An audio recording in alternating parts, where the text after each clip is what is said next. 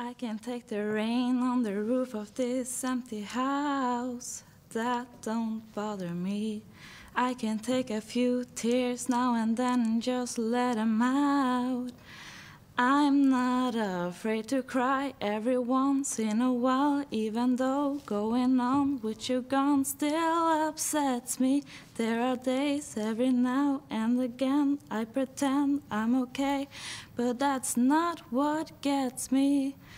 What hurts the most was being so close and having so much to say and watching you walk away and never knowing what could have been and not seeing that I'm loving you.